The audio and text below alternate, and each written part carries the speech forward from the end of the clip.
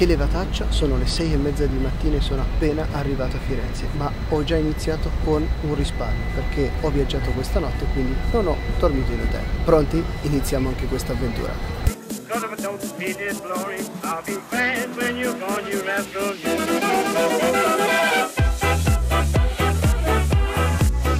Ciao a tutti, sono Daniele e bentornati su Subri Channel. Siete pronti a scoprire che cosa è successo nella terza tappa del mio tour in giro per l'Italia? Ma prima ricordatevi di iscrivervi al canale e cliccare sulla campanella per rimanere sempre aggiornati su tutti i prossimi video di Subri in giro per l'Italia che usciranno e non solo. Eccomi qua, sono a Firenze, si prospetta una settimana calda, ma spero meno calda di quella di Napoli, perché onestamente è stata molto calda anche se era prevedibile a cavallo di Ferragosto. Bene, ho trovato delle sistemazioni veramente interessanti ed anche economiche, forse proprio perché ero lontano dalla settimana di Ferragosto, ma ho trovato anche delle difficoltà, già delle difficoltà proprio per arrivare in centro la mattina così presto perché sono arrivato alle sei e mezza. Diciamo che questo mi ha permesso di risparmiare una notte in hotel perché appunto la notte tra domenica e lunedì ho viaggiato e non ho soggiornato in un hotel o una stanza qualsiasi, ma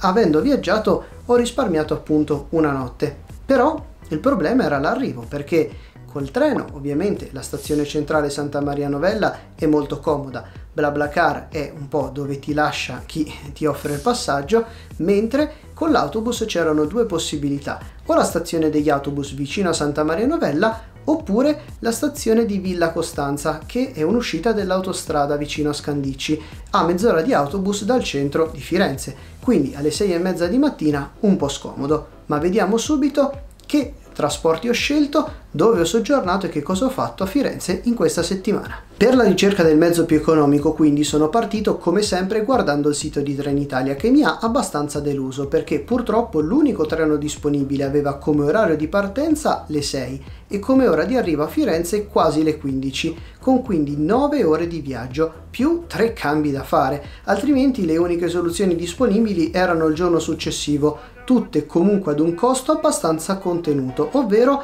36,35 euro altrimenti dovevo puntare sul frecciato rossa ha dei costi nettamente superiori. Per Flixbus invece la questione trasporti si è iniziata a fare molto interessante perché ho notato immediatamente dei pullman senza cambio che con poco più di 6 ore di viaggio riuscivano ad arrivare a Firenze a Piazzale Montelungo che per l'appunto è accanto alla stazione di Santa Maria Novella mentre le altre destinazioni purtroppo erano tutte a Villa Costanza ed il prezzo iniziava a lievitare e quindi ho tenuto a mente 27,99 con il viaggio in notturna risparmiando sull'hotel. Non so voi, ma io adoro viaggiare in notturna, innanzitutto perché, come in questo caso, avendo una prenotazione, posso risparmiare una notte in hotel, ma poi anche perché d'estate il pullman ha l'aria condizionata, c'è comunque il bagno, il pullman fa le sue fermate, L'unica cosa ovviamente da tenere a mente è che si può trovare un vicino che con il covid ovviamente non ci sarà, però un vicino che russa oppure che si allarga e occupa anche parte del nostro sedile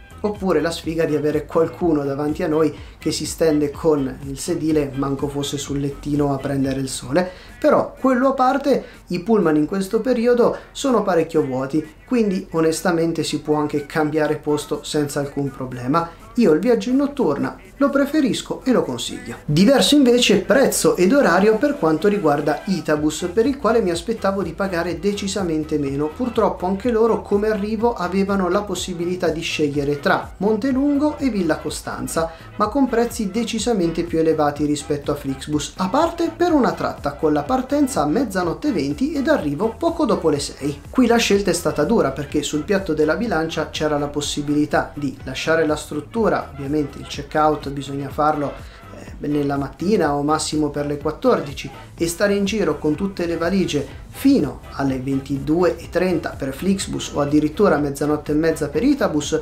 oppure partire prima ed arrivare quindi prima a Firenze e dormire direttamente la domenica notte a Firenze? Ma mancava ancora BlaBlaCar. Come passaggi in auto ne ho trovati ben 48 ed alcuni anche al completo e non sono stato a guardare onestamente l'ora, ma più che altro la vicinanza sia per la partenza sia per l'arrivo con il centro città. Infatti ne ho trovati molti con partenza dal centro di Napoli ma pochi con l'arrivo in centro a Firenze, a parte un passaggio con arrivo proprio vicino alla stazione di Santa Maria Novella verso le 14 e la partenza poco dopo le 8 di mattina in una stazione di carburante vicino all'aeroporto di Napoli, non proprio vicinissimo al mio alloggio e comunque dal prezzo di 25 euro. Alla fine ho fatto la scelta più economica e forse anche più sensata perché Flixbus avrei comunque dovuto prenderlo lontano dal centro di Napoli, quindi avrei dovuto con tutte le valigie prendere un treno che mi portasse a una stazione per poi prendere da lì il Flixbus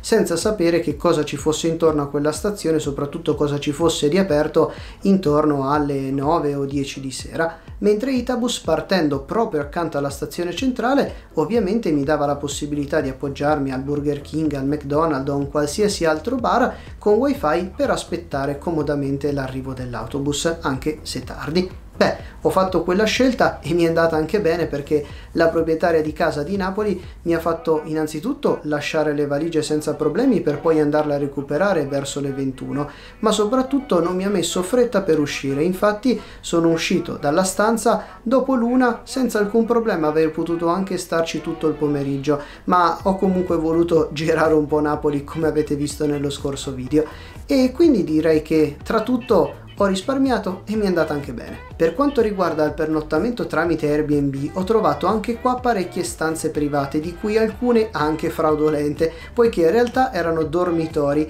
impostando sempre il costo massimo di 40 euro per notte. Anche su Booking ho trovato molti ostelli con prezzi decisamente vantaggiosi, ma la mia attenzione è ricaduta su una affittacamere con un prezzo decisamente interessante ed anche abbastanza vicino alla stazione centrale. Per l'intero pernottamento la stanza con bagno privato era solo 156 euro, struttura comunque ben quotata con più di 900 recensioni e quelle negative erano di poco conto. Non so per quale motivo ma allo stesso tempo ho voluto guardare anche Booking sull'applicazione e tramite il browser web del cellulare ed in effetti la stessa stanza non costava 156 ma 143 comprese le tasse di soggiorno con proprio la scritta sconto per mobile. Quindi contando la camera con bagno privato, il wifi e la buona posizione rispetto alla stazione ho tenuto a mente questa soluzione con un prezzo di quasi 23 euro a notte e pensavo onestamente di non trovare di meglio fino a quando mi sono imbattuto in un bed and breakfast che come costo sul web aveva 176 euro per 6 notti ma c'era anche un video su YouTube che pubblicizzava la struttura con un 15% di sconto. Contando quindi 176 euro meno il 15% di sconto, ho contato di poter soggiornare per circa 150 euro. Sì, situazione un po' più cara rispetto all'affittacamere, ma posizione migliore e soprattutto stanza decisamente più bella. E quindi ho deciso di contattare la struttura su WhatsApp visto che c'era questa possibilità chiedendo se la camera fosse disponibile per le date in cui io dovevo essere a Firenze. Una volta ricevuta la risposta affermativa ci siamo sentiti telefonicamente e il proprietario mi ha detto che il suo prezzo normale era di 35 euro per notte quindi sarebbe venuto 210 euro e già lì mi è sorto un piccolo dubbio ma aspettate una volta che ovviamente ci siamo messi d'accordo, quindi confermato le date dovrebbero essere quelle e quant'altro, mi ha detto di sì, che poteva farmi uno sconto, ma non potevo chiedergli meno di 30 euro per notte. Quindi il totale sarebbe venuto di 180 euro. Ma è 180 euro, quindi più caro di 176, che era quello pubblicizzato sul sito, da cui si poteva togliere il 15% di sconto. Va bene, ho lasciato perdere, ho ringraziato e ho prenotato quindi subito, prima che andassero via tutte le camere, l'affittacamere a 143 euro per tutto il soggiorno. Ho fatto anche presente alla struttura che io sarei arrivato a Firenze per le 7 di mattina e se c'era ovviamente la possibilità di accedere prima alla stanza del check-in dichiarato su Booking alle 12. Mi hanno detto che purtroppo non era possibile perché la mia stanza era occupata e avrebbero dovuto quindi fare il check-out e poi pulirla. Però nessun problema perché mi hanno proposto la possibilità di lasciare le valigie direttamente in reception per girare tranquillamente per Firenze senza tanti pesi addosso, rientrare per le 12 e poi poter salire finalmente in camera. Quindi direi un buon servizio. Alla fine però arrivato a Firenze mi sono accorto che mi sarebbe costato meno tempo e fatica aspettare al McDonald's aperto 24 ore su 24 alla stazione prendendo un caffè e nel frattempo lavorando al computer piuttosto che fare avanti e indietro tra la struttura struttura ed un altro punto qualsiasi di Firenze. Ovviamente anche perché la stanchezza si è fatta sentire tutta alle 7 di mattina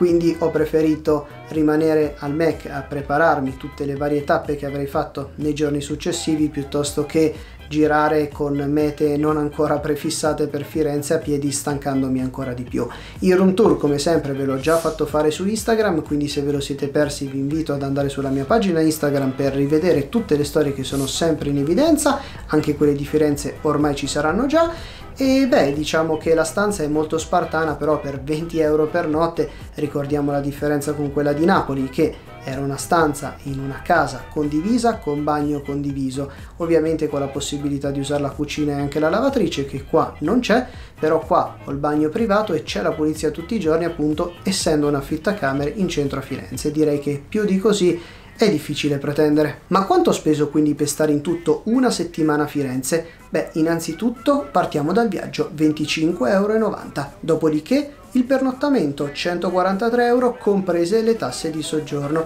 dopodiché il cibo, ovviamente iniziando dal McDonald's, quello pre-partenza e anche quello una volta arrivato a Firenze 4 euro in tutto. Poi il cibo con Too Good To Go, 12,96 sì è pochissimo ma mi hanno regalato una box e nel video dedicato vi dico quello che è successo. E poi beh la lavatrice che ho dovuto fare quindi lavaggio, asciugatura e sapone 5 euro in tutto purtroppo qua non era compresa con la casa e beh, il tutto comunque è costato 190,86, direi un ottimo risultato. Ehi, il video non è finito qua, qui lati troverete l'ultimo video caricato e uno consigliato direttamente da YouTube, mentre qui al centro il tasto per l'iscrizione. Non dimenticatevi che in descrizione ci sono tutti i link ai miei social network, il prossimo appuntamento venerdì alle 14.